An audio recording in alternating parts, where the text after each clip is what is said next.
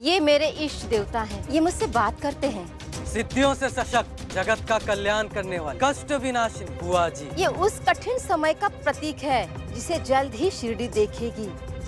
अपनी शक्ति का प्रदर्शन यहाँ मत करो। शिरडी में रहने वाला हर इंसान मेरे लिए मेरा बच्चा है। पूरा एपिसोड देखने के लिए सोनी लिव ऐप डाउनलोड करें। Sony LIV we live to entertain